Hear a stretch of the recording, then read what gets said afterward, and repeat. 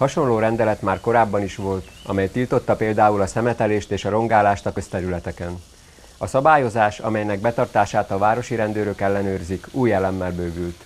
Ami pluszba belejött, az a közterületeken kihelyezett padokon való életvitelszerű használat. Tehát nem lehet lefeküdni, aludni.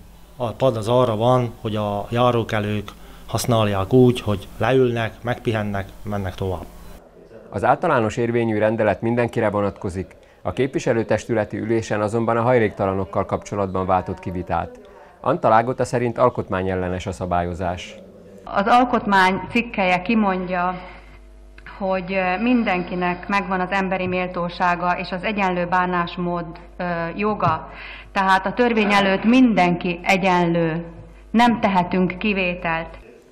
Hájos Zoltán polgármester elmondta, hogy a város által működtetett hajléktalan szálló alternatívát kínál a fedél nélküliek számára.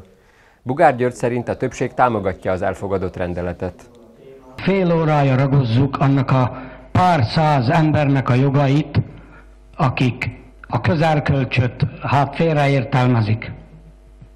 És akkor azokról a több ezer lakosról ebben a városban, akik meg ezt elszenvedik, az ő jogaikról, akkor miért nem beszélünk?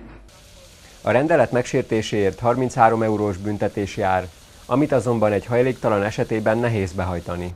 A szabályozás május 10-én lép életbe.